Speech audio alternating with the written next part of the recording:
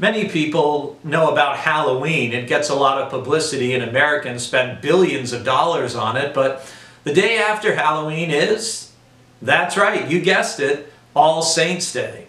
And this coming Sunday, I'm going to be preaching from 1 Corinthians, where Paul tells that church, which is filled with a lot of mixed up and even a fair amount of messed up people, hey, we're called to be saints. Well, what does that mean? Sometimes we think of the great Christians of the faith like a Mother Teresa or St. Francis, but what if we're all called to be saints?